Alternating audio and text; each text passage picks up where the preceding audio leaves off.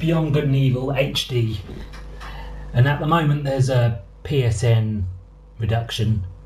I got this for four pound. I think that's about eight dollars. I'm not really sure, but this is a platformer,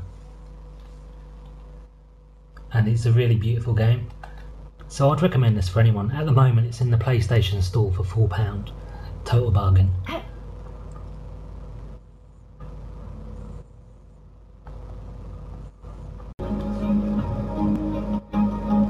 It's a free roaming world. The water is really nice. It's nice riding around on a bike, but the water looks really realistic, and the sky changes colour whenever the moon or the sun goes up and down. It's nice how the weather changes. At night time, the stars really show up and they're kind of 3D. And um, as the sun's setting, you get this really nice light coming from the sun.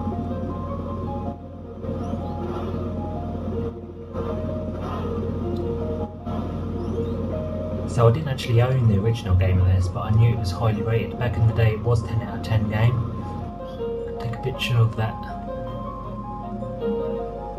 So one of the main the main features of the game is taking photographs. You're collecting photographs of every type of creature.